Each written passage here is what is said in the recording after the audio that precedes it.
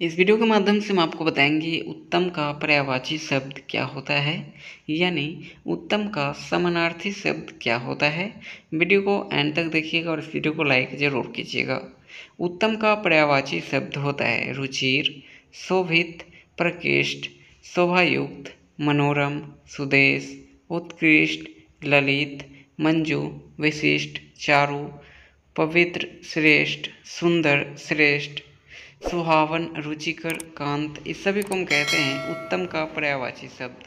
आई hope channel को subscribe अपने कर